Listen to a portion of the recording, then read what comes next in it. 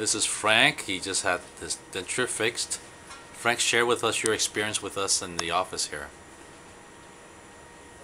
You want to share share what your experience with been? Well, I very happy with the work. And um, Well- originally you came in with something that was very different, wasn't it? Oh yes, state of the art. You, you made your own denture. I used to.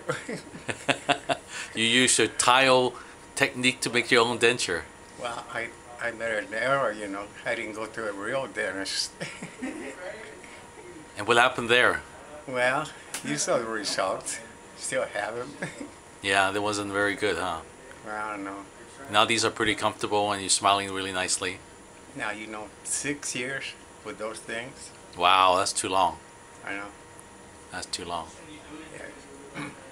Well, well, hopefully you could get the smiles and spread the smile around to other people. I'm gonna go around the neighborhood. You know. Okay, very good.